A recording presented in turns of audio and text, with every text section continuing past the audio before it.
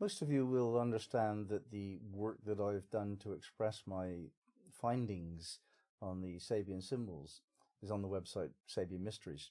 And it may be useful for me to just go through the source material and how I came to write this work. It is um, an attempt to bring Jones's wisdom and Elsie Wheeler's wisdom and Rudhyar's wisdom into some more modern 21st century sense so that we can understand it with the way we think nowadays. The attention span of the world has reduced considerably since the internet. And 100 years ago, and we're talking about this, this time, this work was done in 1923, I think.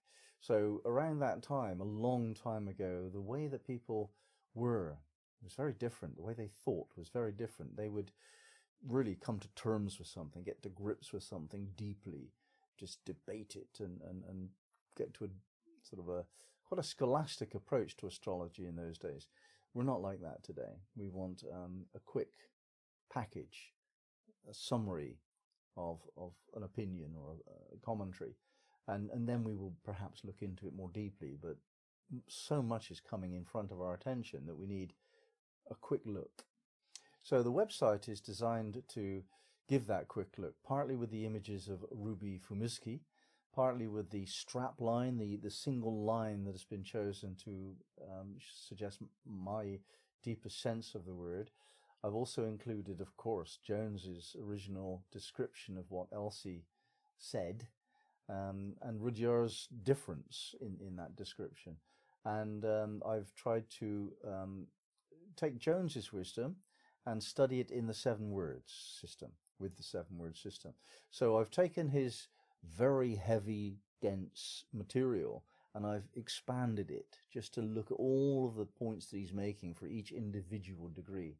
And I've, I've looked at whether or not the seven words can be applied to his commentary. And I've done that. I've, I've said, okay, what exactly does this word say? That's the no. Um, can we expand our realm of interpretation here? That's a low. How does it feel, this degree? That's thank you.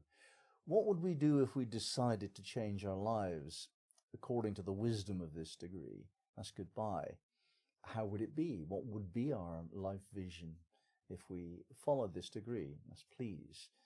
Um, what, what's the pitfalls here? What's what's the, the other side of the equation? How how might we not do very well? Um, become insensitive to the actual message? That would be sorry. And yes, would be some sense of um, allowing, allowing it all to flow. So I've applied that, that logic, shall we say, the seven words logic to Jones's work, which explains the, the lower sort of seven paragraphs of each page. Um, Rudhyar, I've, I've um, studied deeply. His, his work is much more spiritual, I think. Um, much more the attempt to look into the meaning, the deeper meaning within each degree. Whereas Jones is saying, look, this is actually the case of the matter. Let, us think about how this happened. Elsie was an arthritic woman in a chair, a highly advanced medium. She could um, use her intuition at the highest level to see what others of us cannot see. So she would have seen an image, a visual image, and described that image to Jones and he wrote down a summary in a few words of what she said.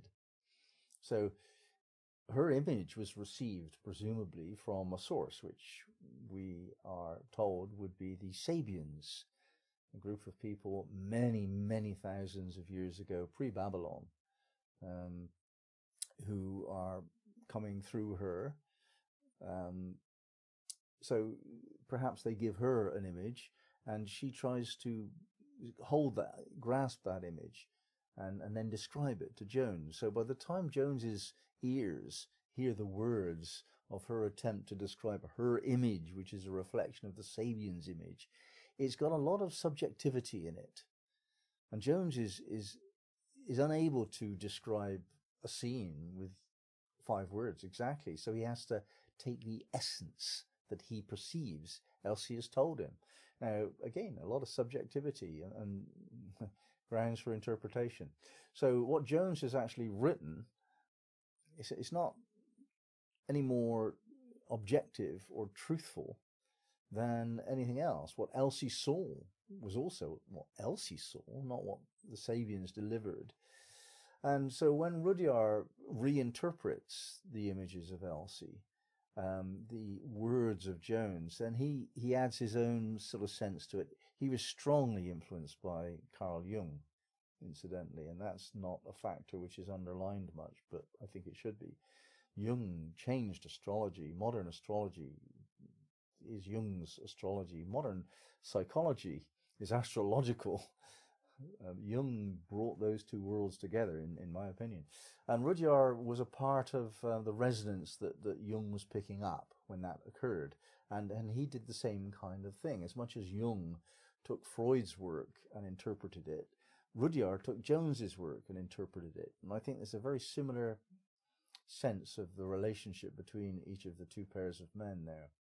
Um, now, they wrote in language which we don't understand today. So, with my website, what I've attempted to do is to bring um, a sense of, of, of, being able to access their wisdom without losing the the rather laborious style, the, the rather ambig- ambiguous presentation um, that allows someone to put their own interpretation into effect.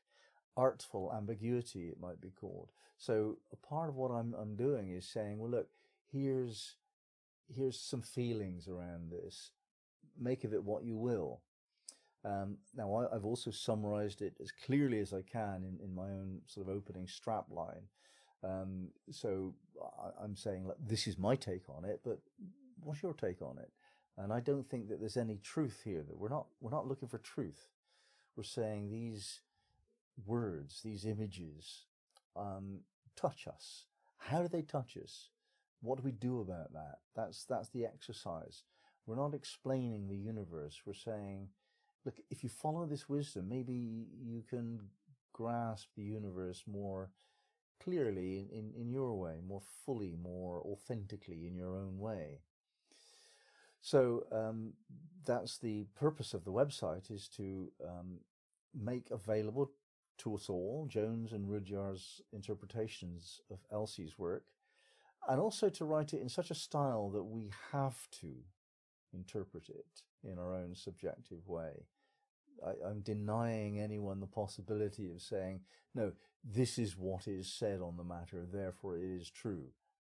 That's not a useful way to think, my opinion.